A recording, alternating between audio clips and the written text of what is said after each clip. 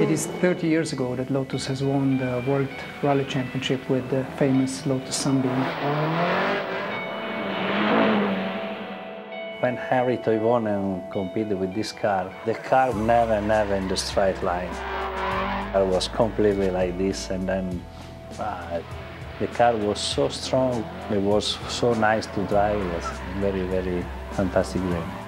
It's time to go back again, and since there is a new, uh, newly created uh, formula called uh, RGT, uh, which is actually uh, perfect for us because it is the basis of the new Lotus Exige that we use to enter into this category.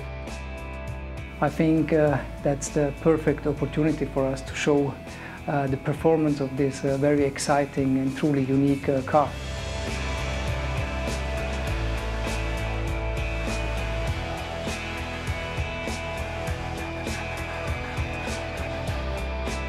For me, the Exige is a perfect car to use in the rally. It's a perfect, uh, what you say in uh, French, is a perfect berlinette.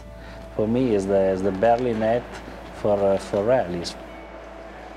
Rally races is a, is a very exciting race actually. It's, it's all about the car's performance, all about the car's uh, ride and handling and it actually reflects perfectly uh, uh, the road cars that we are building because they are all about ride and handling. Yeah, the rally is the, is the, the right combination between the road car and the racing car. It's the, the racing car racing in the normal road.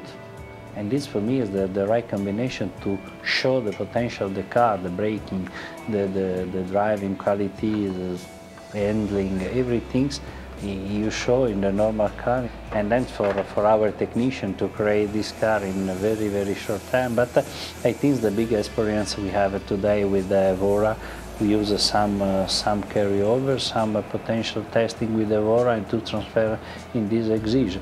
The, the combination in the competition between some models is a, is a, is a good way to, to progress in very quick.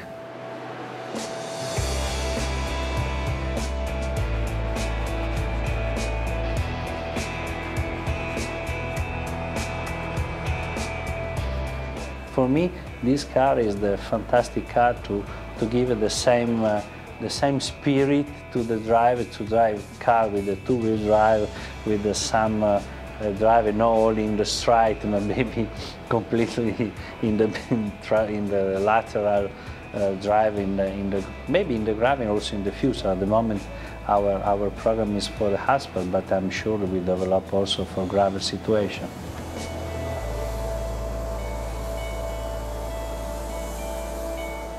This new car deserves to have uh, a similar livery that they used uh, 30 years ago.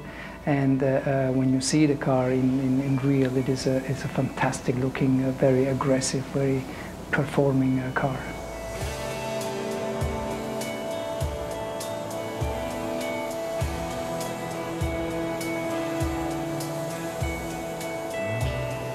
I remember 30 years ago, this car is so, for me was fantastic, especially the engine, Lotus 2.2 liters was very, very incredible engine.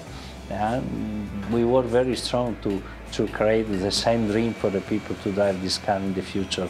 The, the, the, the capacity to create a, a, fantastic car, easy to use, not too much expensive in this moment for the customer, reliability, and, but funny for, for a pleasure to drive.